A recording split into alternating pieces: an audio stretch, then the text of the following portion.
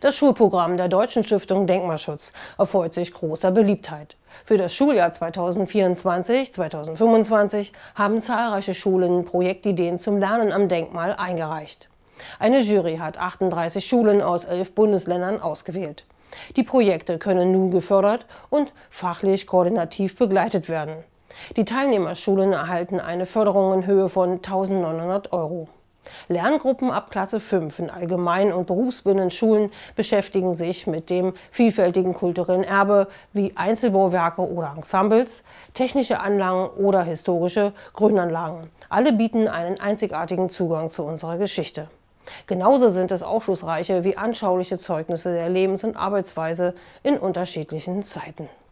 Partner des Schulprogramms Denkmal aktiv im Schuljahr 2024/2025 sind die Bildungsministerien der Länder, so auch von Sachsen-Anhalt sowie der Bund für Umwelt und Naturschutz Deutschland und die Deutsche UNESCO-Kommission.